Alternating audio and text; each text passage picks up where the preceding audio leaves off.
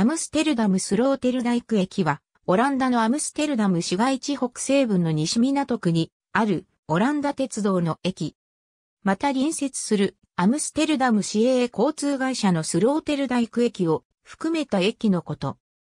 アムステルダム中央駅方面スキポール、空港駅方面ハールレム方面、ザーンダム駅方面 NS は、アムステルダム中央駅とハールレムを結ぶ東西路線に島式三面六線のホームを持つ地上駅とアムステルダム中央駅とスキポール駅を結ぶ南北路線に島式一面二線のホームを持つ高架駅。両路線はこの駅で直角に上下交差している。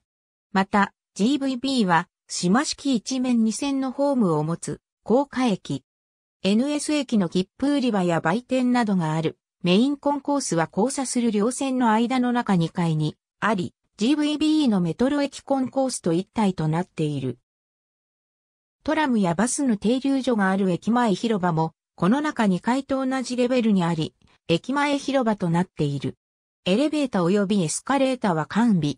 駅構内に窓口、自動券売機、売店、コンビニ、ファストフードレストランなどが設置されている。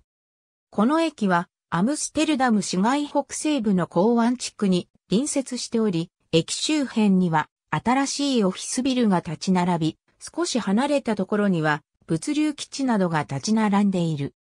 なお、この駅があるアムステルダム市のウエストポール特は、アムステルダムで最も居住人口の少ない区であるが、オフィスや物流拠点への通勤者や交差する各路線の乗り換え客で駅での乗降客は多い。1956年にアムステルダム中央駅とハールレムを結ぶ路線の中間にある仮設駅として開業した。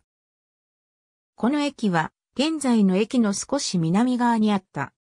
1983年にザーンダム駅行きの列車が発着する駅として現在の駅の位置にスローテルダイク北駅という名前で新駅が建設された。この時、1956年に開業したハールレム行き列車が発着する駅はスローテルダイク南駅と改名している。その後、工事のためスローテルダイク南駅が1985年、一旦閉鎖された後、1986年にアムステルダム中央駅とスキポール駅を結ぶ路線の中間駅が開業した時に両線の乗り換えを行う現在の形となっている。トラム12系統は、現在の駅が建設された1982年に乗り入れている。その後、1997年には NS の路線と並行して GVB のメトロ路線が開通し駅が設けられた。ありがとうございます。